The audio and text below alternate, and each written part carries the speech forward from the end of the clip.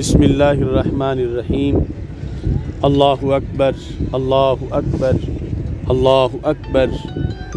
लब्बैक लब्बैक लब्बैक या रसूल अल्लाह सल्लल्लाहु अलैहि वसल्लम।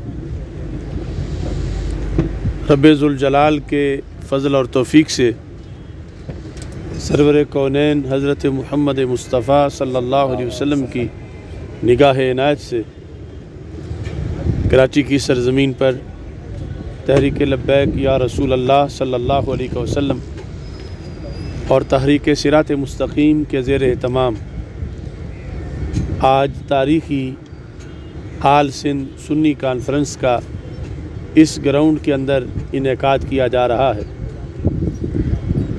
कश्मीर रोड पे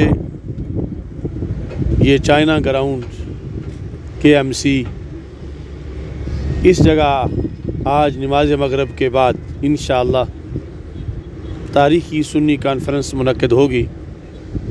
नाजरीन, आप देख रहे हैं कि हमारे कारकुनान ने, ज़िम्मेदारान ने बड़ी महब्बत से इस ग्राउंड के अंदर स्टेज और पिंडाल की तैयारियों का ये सिलसिला तकमील के करीब तक पहुँचा दिया है। और थोड़ी देर के बाद इन ये मुकम्मल हो जाएगा। और नमाज़ मगरब के फ़ौर बाद इन आल हक का यहाँ पर ठाठे मारता हुआ एक समुंदर नज़र आएगा। जो लोग कराची में मेरी आवाज़ को सुन रहे हैं और कराची के मुजाफाती जो अज़ला हैं सबको मुतले किया जा रहा है। कि ये बड़ा तारीख साज मौका है। पाकिस्तान में नज़रियाती पुख्तगी के लिहाज से एक नया दौर शुरू होने वाला है।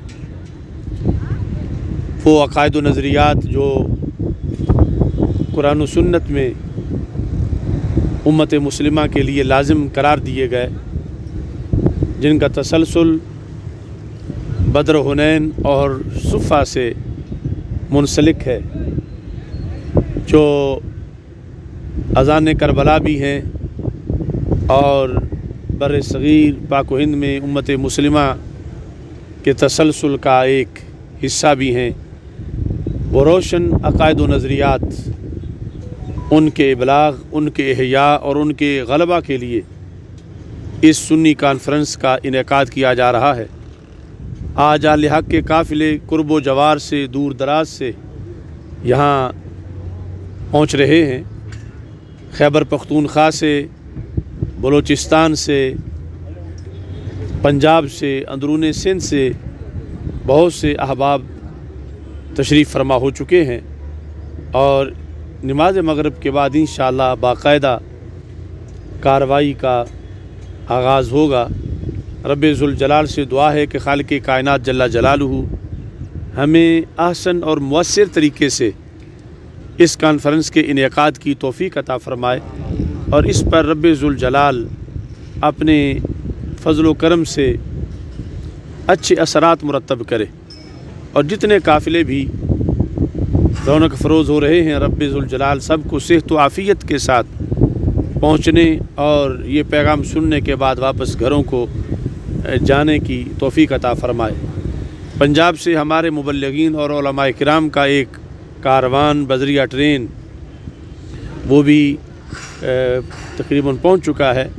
और ऐसे ही दीगर मुख्तलफ़ काफ़िले जो पंजाब से मुख्तलिफ़ ज़राए से आ रहे हैं, उनके भी पहुँचने की ख़बरें मौसू हो रही हैं। अल्लाह तबारक व ताली हम सबको इस मिशन में सुरखरू फरमाए। वाखिर दावा या